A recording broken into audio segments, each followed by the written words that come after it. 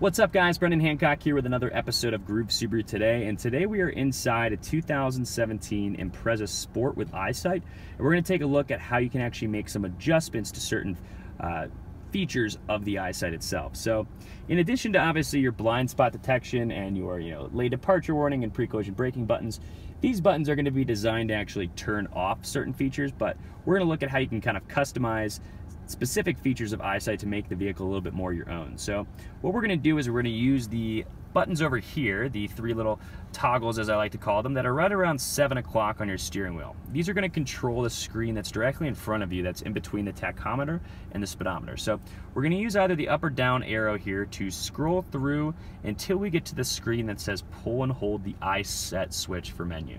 So we're going to pull and hold that middle button here. And then we're gonna scroll through, once that screen changes, takes about three seconds, we're gonna scroll through until we get to EyeSight. And then we're gonna use the middle button, which is the EyeSet, to select that. And that's gonna change the screen to give us a couple of different things that we're able to change. So the first thing is gonna be lead vehicle acquisition sound. So what that is, is um, lead vehicle acquisition, what that is, is when there's a car in front of you, and like let's say you're at a red light or something, and that car moves, and you do not move, for example, you're you know looking at your cell or so on and so forth, uh, it's going to give you an audible warning. So if I select this, this allows us to either leave the sound on as it is now, or I could simply decide to turn it off if I just wanted to have the the visual warning of that letting me know that the car's moved. So the next thing that I have the opportunity to change is actually going to be the lead ve uh, vehicle moving monitor function altogether. So I can actually turn that function off altogether, or I can continue to have it on and simply decide to turn off the sound if I would like to as well. The next thing that's on here is really awesome. This is new for the new 17 Impreza, and this is actually cruise control acceleration characteristics. Now, this is actually going to allow you, while using adaptive cruise control, to change the characteristics of how the car is going to accelerate, whether it be more sporty or whether or not you want it to be a little bit more um, economical. So if I select that, I have three different levels. Starting at the bottom, I'm gonna have eco mode. So that's level one. That's gonna be the most gentle acceleration and braking. That's gonna be mostly for fuel economy. If I go up, the next level is gonna be comfort. That's gonna be a little bit more aggressive. I have standard, which is actually how the car comes from the factory. And then I also have dynamic, which is gonna be a little bit more sporty, a little bit quicker accelerations, things of that nature. So kind of allows you to have a little bit more customization, personalization uh, than previously was available.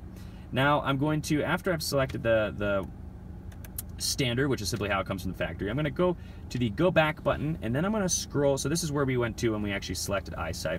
Now I'm gonna scroll up to actually warning volume, and if I hit select here, this allows me to change the warning volumes of certain things. So for example, you know, I had lead vehicle acquisition, I could turn the sound either on or off. But here, the warning volume is for all of the features. So whether it's lane departure warning, it's pre-collision braking, or it's lead vehicle acquisition, it doesn't matter. It simply here is where I have the ability to actually change the warning volumes of all of these features, or I can turn them down to almost non-existent as well. So Hopefully you guys have found this to be helpful inside the Impreza. I do want to show you guys real quickly before we finish up here today what it looks like in an Outback, since it is just a little bit different. So why don't we go take a look inside of one of those vehicles. All right, so now we're inside of a 2017 Subaru Outback. This is an option package 24, so limited. It has all the features and everything. Now I wanted to do show you sort of the difference here because it is a little bit different, although for the most part everything you know will carry over. Now, as we mentioned over here, you know, you had the one or two buttons in the Impreza. We do have a couple more features over here and the ability to, uh, to turn off certain features of EyeSight.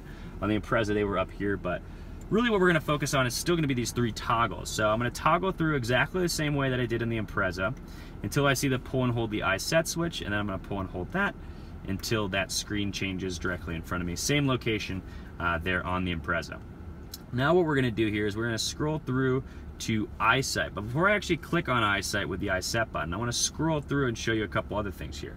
You also have, as you can see, blind spot and rear cross traffic alert settings, and also reverse automatic braking settings, individual, you know, separate from the actual um, EyeSight category in and of itself. And what that's for is if I hit like blind spot detection, for example, I have warning volume specifically within that particular feature.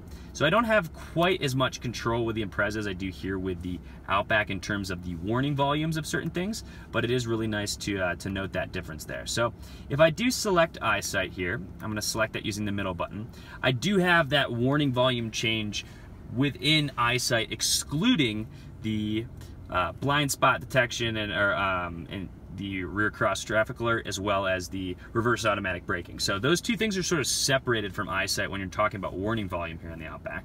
But if I select that, you can see here for all those other features, whether it's, you know, lead vehicle acquisition or if it's, you know, pre-collision braking, those things, those are all sort of bundled together in terms of warning volume. But I also have um, lead vehicle uh, moving monitor function just like I had in the Impreza. I can turn that on or off. I can adjust the sound of that here. It looks like, so maybe I guess it's really only the pre-collision braking, I guess, that it's sort of put on its own there, I guess, which is kind of interesting. So you can see here just a little bit different. I do have the vehicle icons on. I can change that setting as well. So just a little bit of differences in between the Impreza and the Outback here, but I thought they were definitely worth noting. So pretty easy to kind of fiddle around with things. You guys can kind of customize it if you do have a vehicle currently with EyeSight, sort of customize whether or not, you know, what warning volumes and things work best for you. Just a little bit more control over uh, certain settings, which make the experience a little bit more enjoyable. So thank you guys so much for watching. If you haven't done so already, subscribe today, and we'll see you guys next time on Groove Subaru Today.